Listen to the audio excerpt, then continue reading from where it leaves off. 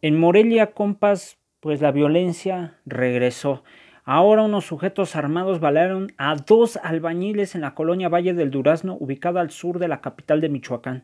A consecuencia de lo anterior, uno de los ofendidos pues murió y el restante quedó herido, trascendió la labor noticiosa.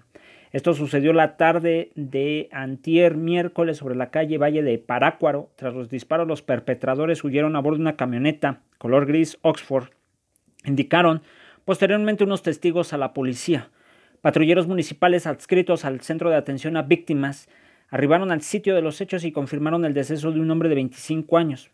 Además, los oficiales otorgaron los primeros auxilios a un hombre de 29 años quien fue canalizado a un hospital.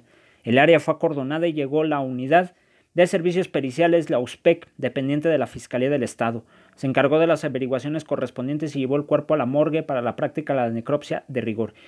Caray, compas, esto sigue pasando allá en Morelia y las cosas se están poniendo cada vez peor. Desaparición de mujeres y ahora situación de violencia. ¿Hasta cuándo la gente va a exigir a, sus, a las autoridades? Porque ellos no son tan eficaces, no están haciendo bien las cosas, están haciendo protocolos inadecuados.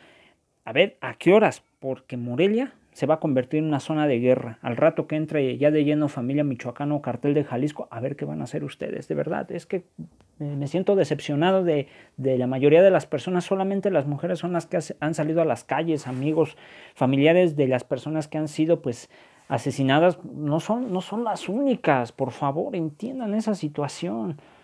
Caray, la gente de Morelia se está haciendo cada vez más fría, igual que la de Zamora, la de Uruapan, y bueno, la verdad, esto ya se está haciendo cada vez una mala costumbre. Saludos, compas.